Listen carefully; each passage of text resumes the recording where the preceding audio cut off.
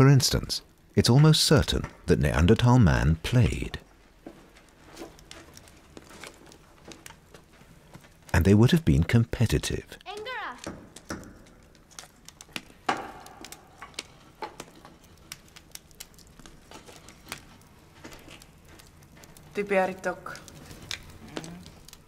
Most scientists are sure that they spoke.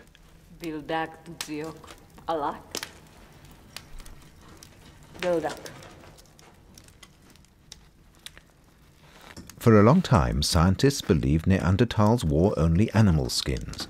They couldn't have made clothes because no needles with eyes were found in their caves. But a simple spike would be enough to make holes in leather and fur, through which strips of hide and sinews could be threaded.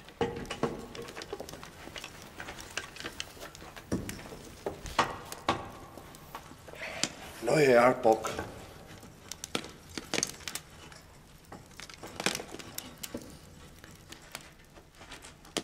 For a long time, Neanderthals were thought to have lived in unhygienic conditions, but there's hardly any sign of tooth decay in Neanderthal remains.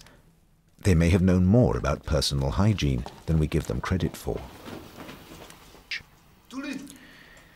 But ideas about the level of Neanderthal development have been revolutionized by one astonishing discovery. Long before Homo sapiens, our own ancestors, came to Europe, Neanderthal man invented and manufactured an extraordinarily effective glue. The Museum of Prehistory in Halle has its own supply of Ice Age adhesive. This fragment was found in the 1960s as a dig in Königsaue in eastern Germany.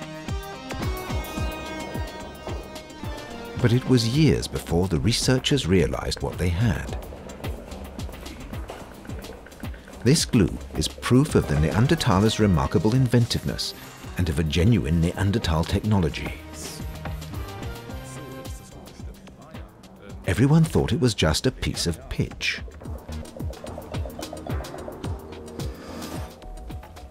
No one believed the Neanderthalers could have made an adhesive out of simple birch bark.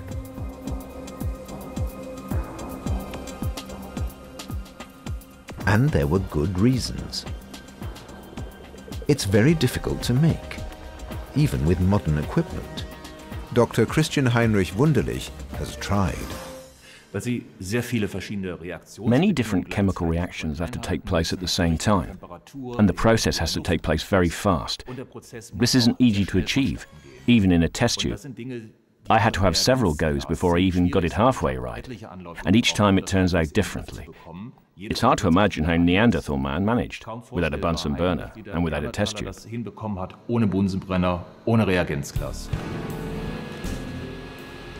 No scientist has succeeded in making this pitch glue with the materials Neanderthals could have used.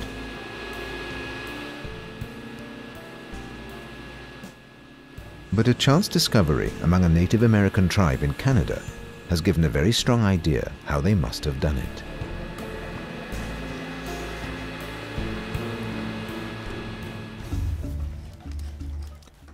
They put tightly rolled strips of birch bark in a hole in the ground. Figure syrup.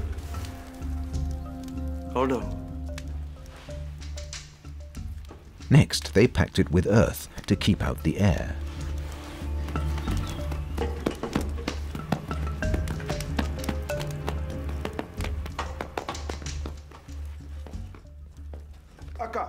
Then, they applied a smouldering stick.